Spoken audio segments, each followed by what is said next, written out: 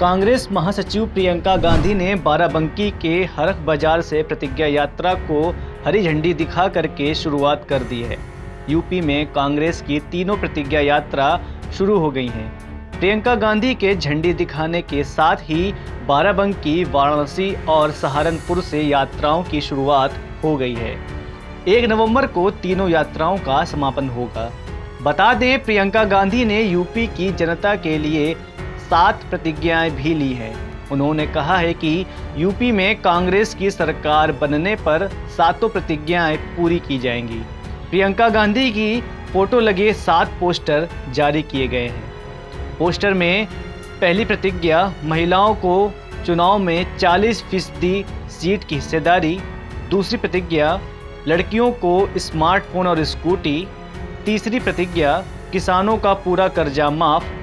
चौथी प्रतिज्ञा 2500 में गेहूँ धान 400 पाएगा गन्ना किसान।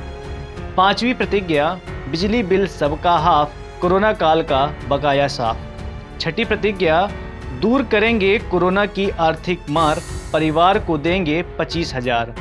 सातवीं और सबसे बड़ी प्रतिज्ञा, यूपी के युवाओं को 20 लाख सरकारी नौकरियाँ दी जाएँगी। आपको बता दें कि उत्तर प्रदेश की सियासी पिच पर प्रियंका गांधी इस वक्त धुआंधार बैटिंग कर रही हैं। अभी तक प्रियंका गांधी का कोई तोड़ दूसरी पार्टियाँ और खास करके बीजेपी नहीं ढूंढ पाई है। अब देखने वाली बात यह होगी कि प्रियंका की सात प्रतिज्ञाएँ यूपी के विधानसभा चुनाव में कांग्रेस को कितना फ़ायदा है कांग्रेस पार्टी की जो प्रतिज्ञाएँ हैं उनके बारे में आपको यहाँ पे बताने के लिए आई हूँ क्योंकि यहाँ से एक यात्रा शुरू हो रही है, जो 10 दिन के लिए पूरे उत्तर प्रदेश में हमारे जितने भी नेतागण हैं, वे चार अलग यात्राएँ निकालेंगे, जिसमें से तीन की शुरुआत आज है, एक यहाँ बाराबंकी से निकलेगी। तो उसका शुरुआत करने के लिए मैं यहाँ आई हूँ, और आप सबको कहने के लिए कि हमारी कौन सी प्रतिज्ञाएँ हैं? तो हमारी पहली प्रतिज्ञा टिकटों में महिलाओं को 40 प्रतिशत हिस्सेदारी